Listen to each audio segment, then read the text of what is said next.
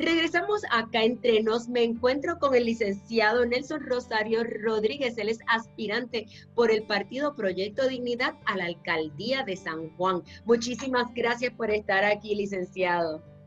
Eh, bueno, eh, gracias. Gracias por la invitación. Saludos a la audiencia. Saludos, Fernández. Pues mire, nosotros hoy estamos, como le había comentado, y nuestro público conoce en calidad personal. Queremos conocer al ser humano y ciertamente pues uno proviene de una familia, en su caso de doña Virginia y don José, tiene una hermana. ¿Cómo fue esa crianza en su casa? Bueno, yo me crié en un colmado, literalmente un colmado. Esto, mis viejos siempre tuvieron negocio. Eh, tuvieron negocio en Bayamón, tuvieron negocio en San Juan esto colmado de esos de, los de antes. Sí, sí. Eh, así fue mi infancia. Yo eh, salía de estudiar, me iba a trabajar y siempre algo que hacer en el colmado. Eso era mi cuido también. Siempre cuando aprendí a hablar con la caja, a dar, la vuelta, pues a dar el cambio, pues entonces ya era el cajero oficial. y como era el cajero oficial, pues el cajero siempre hay que dar las instrucciones, a quien siempre dar las quejas, a los clientes que siempre tiene que resolver. Entonces yo desde chiquito estaba ya, como quien dice, dando órdenes a... Era el hijo del dueño. Eso también importa, mucho en, en esos tipos de negocios. Eh, ya yo estaba más o menos dándole órdenes a gente mucho mayor que yo.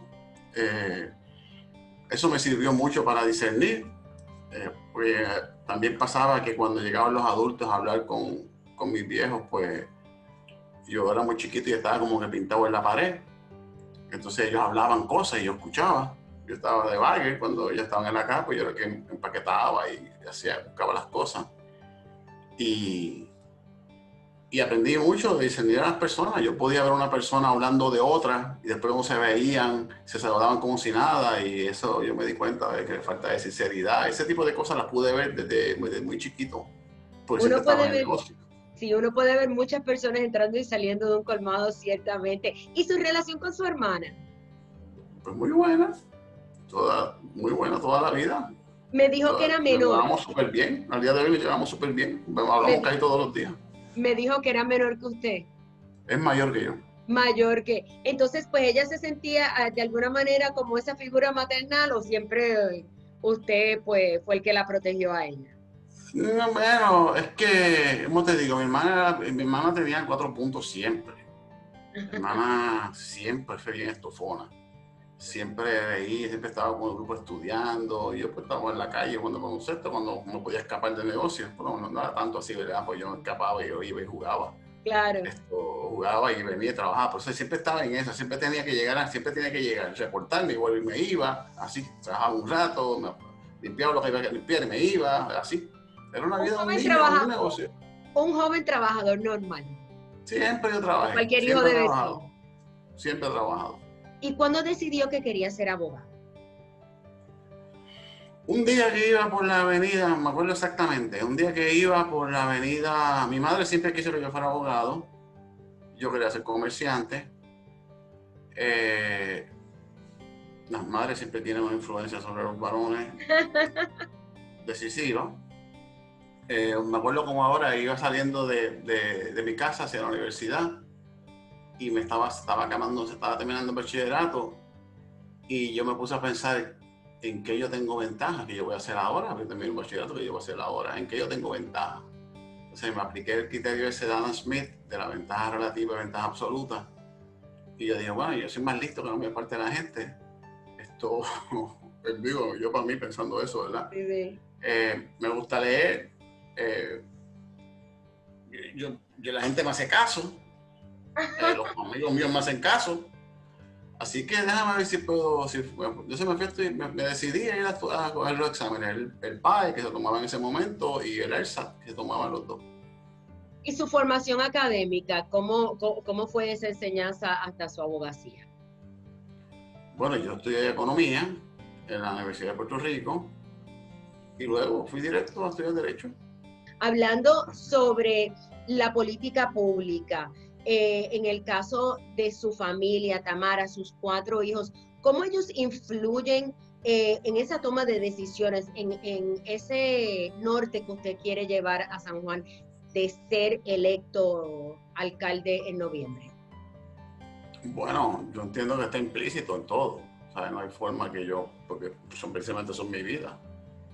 Yo trabajo para, para ellos, básicamente. Esto, así que si me pongo a buscar, ¿verdad? Datos, rasgos en particular en, mi, en, en mis actuaciones, pues voy a encontrar todas probablemente. Eh, pues son, como, como dice Ortega y Gasset, uno es uno y sus circunstancias. Y ciertamente los hijos y, esta, y la pareja, pues son las circunstancias que afectan más inmediatamente. Eh, hay una, bueno, yo tengo tres hijas, de ellas tengo un varón, tengo tres hijas, y obviamente me preocupa el, asunto del trato a, las mujeres, pues yo quiero, ellas son muy, inteligentes las tres, y no me interesa que las discriminen, no me interesa que, que las maltraten. Eh, de hecho, una de las propuestas que yo tengo es específicamente con relación a, mi experiencia, ya que estamos hablando de eso, y es el, asunto de del acoso ese en la universidad, de los patanes que se van a, y ligones que se van a molestarla y a decirles cosas en el carro y a perseguirla y a hostigarla. Eso es una, eso es una medida que nosotros estamos proponiendo. Le pregunto en una nota más liviana, ¿qué hace en su tiempo libre? Bueno, pues yo leo, yo hago, yo camino, camino bastante, hago, hago corro bicicleta, yo hago ejercicio, leo, eh, no me gusta vegetar mucho, me canso más vegetando que haciendo cosas. Esto, pero básicamente ahora, y, con el tiempo del COVID, no hay mucho más que hacer. Pero el año pasado, vamos, un año normal, pues eso era hacer ejercicio, correr bicicleta. Eh, a la playa casi no puedo ir, casi no voy ya, pero cuando era muchacho iba todos los fines de semana. Esto, eso básicamente lo que hago. Le pregunto, Nelson, que el tiempo nos traiciona. El, el 3 de noviembre, ¿por qué el ciudadano de San Juan merece, usted merece su voto? Yo soy abogado comerciante, porque yo soy abogado de la gente. O sea, yo no estoy, esto, y yo, no veo el gobierno como que el gobierno me lo, eh, es, el, que manda.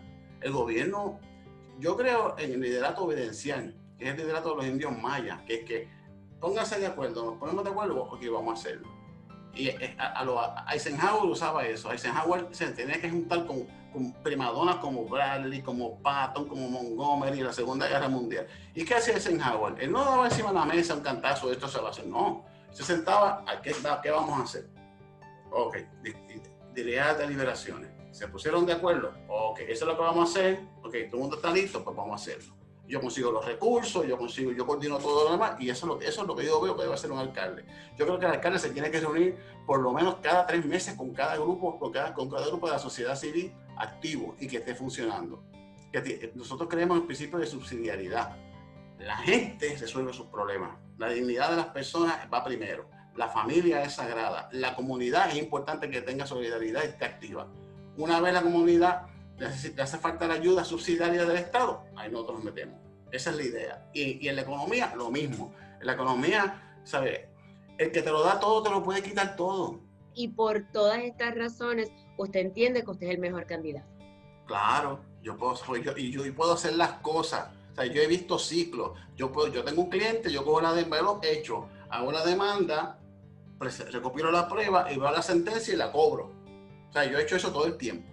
O sea, yo, yo, yo, o sea, yo puedo, yo, yo, puedo cerrar el negocio, ¿entiendes? Yo puedo hacer las cosas. Y tengo la experiencia para hacerlo. Modestia aparte, lo he hecho, llevo ya 28 años haciéndolo. Muchísimas gracias, licenciado. Le deseamos muchísimo éxito. Venga el 3 de noviembre. Bueno, mis amigos, esto es acá entre nos. Nosotros continuamos con más luego de la pausa. No se vayan, que regresamos.